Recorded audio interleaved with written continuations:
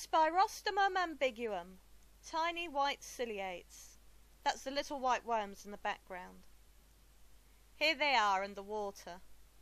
I love the way they move. They swim as if the water's a thick gel and they're having to really put effort into moving through it.